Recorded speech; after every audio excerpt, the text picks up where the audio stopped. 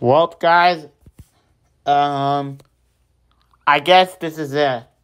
That's the end of Tornado Insanity.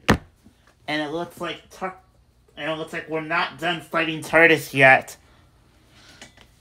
Turtis will be returning in Tornado Alley Ultimate, Tornado Trouble, and the third slash final Superverse movie called, or the Superverse movie 3, the, the Wrath of Turtis.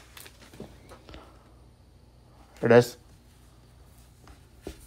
But so now on, what do you think will happen next when Turtis comes into TAU? We'll have to find out. But in the meanwhile, I guess that's the end of this video. See ya, guys.